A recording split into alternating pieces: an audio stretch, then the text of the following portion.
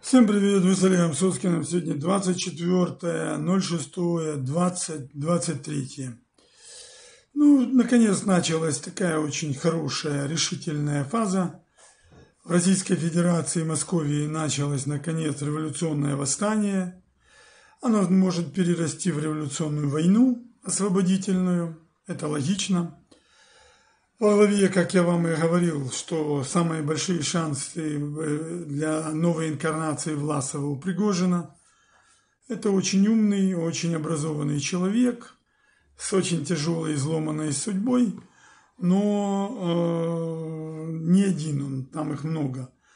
Ну, плюс Уткин, это Грух, это, так сказать, белая кость, скажем так, в отличие от всяких шмонек – шавок разных подворотних, ну и тем более такого шобла, как тот же Шойгу, Герасимов и прочие там э, Суровикины. Ну, Суровикин там не совсем понятно, но по-любому он убийца-предатель, конечно. Для Украины это при любых обстоятельствах надо требовать его выдачи и прилюдной казни на, на Майдане независимости. Ну, не его одного, там еще есть такая же, такие же твари.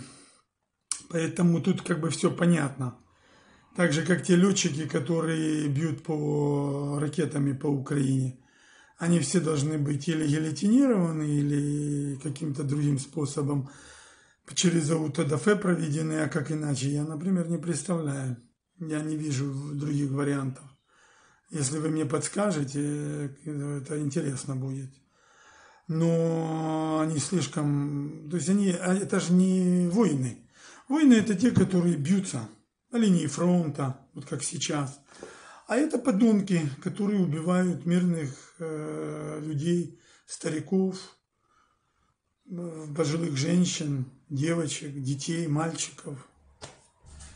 Они должны соответствующим образом быть наказаны, чтобы не повадно было другим уже это делать. Чтобы ни одна тварь не хотела сесть вот так в самолет – и сбрасывать ракеты, бомбы на мирные города, где бы там ни было, не только в Руси и Украине. Те, кто отдают приказы, они преступники. Ну, вот такая ситуация. Разрастается восстание. Уже понятно, почему оно началось. Ну, для меня, по крайней мере. То есть э, отправная точка – это решение Путина встать на сторону миллиардеров с Минобороны и поддержать Шойгу и Герасимова, и там, где пилят это бабло. А, ну, простые граждане Российской Федерации, они просто лохи. Они все, просто их, это НКВДское, КАИБское отродье, оно их э, развело, как болвана всех. Они им внушают, что типа это вот новая отечественная война. Никакой отечественной войны вообще не было и нет. Сталин это просто ублюдок который убийца, убивал э, миллионы людей. Просто психопат, параноик, выживший с ума, маньяк, захвативший власть. Потом его свои же и прибили. Вот сейчас приблизительно подобная происходит ситуация. Путин тоже. Но Путин это расчетливый. Он э, не Сталин хотя бы, как говорится, деньгам не придавал значения. Но это была такая группа, каста ненормальных большевиков. А Путин прекрасно дает долг деньгам. Он говорит, деньги это превыше всего. А, в принципе, он и его группа триллионеры. Поэтому они, естественно, хотят, чтобы у них было больше триллионов. как их сохранить? Надо забирать под себя все. Монополия. Ради, Маркс там цитировал одного ирландца, очень умного экономиста, профсоюзного деятеля, что ради 300% прибыли нет такого преступления, на которое не готов капитал, даже если это грозит ему виселицей. Ради 500% он готов, так сказать, э, отправить в небытие собственную мать и так далее. А тут речь идет о тысячи, пять, десять тысяч процентов прибыли. Вы представляете? То есть понятно, что в Санкт-Петербурге африканцев не зря привезли, и э, было решено перекоммуникатировать, забрать у ЧВК Вагнера, Уткина, Пригожина все э, деньги. Все источники африканские, ну и латиноамериканские тоже соответственно. Не зря ж Лавров и туда, и туда ездил. И не зря кубинец приезжал. Вот, и Никарагу и так далее. Ну, после того, как этим ребятам стало понятно, и тем, кто за ними стоит, что их делят уже и множат на ноль, они сказали, ну так хорошо, тогда давайте посражаемся. И начали сражение. А поскольку революционная ситуация уже перешла в революционный кризис в Российской Федерации, и они сами виноваты, это война с Украиной, геноцидно-террористическая, плюс то, что Украина выставила и не сдалась, и начала потихоньку их, так сказать, бить на фронте. Вот особенно Бахмут, конечно, играет ключевую роль. Ну и то, что я вам рассказывал, объяснял, я, поскольку меня, так сказать, изучают очень многие детализированно, потому что ну, Олега Ильича надо изучать, конспектировать, если не мудак, и есть мозги, серое хоть чуть-чуть вещество, вот, то понятно, ребята поняли, что они могут это сделать. Главное теперь не повторить ошибку Власова, который пошел на договоренности со Сталиным, Путиным в данном случае, и пошел на уступки.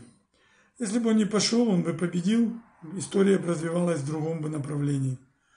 Вот сейчас, если Уткин и Вагнер, этот э, Вагнер, ну, естественно, Пригожин, будут действовать правильно, причем революционная война имеет такое качество абсолютное, что надо все время наступать. Каждую секунду надо все время выступать и наступать. Пригожин все время должен быть в эфире.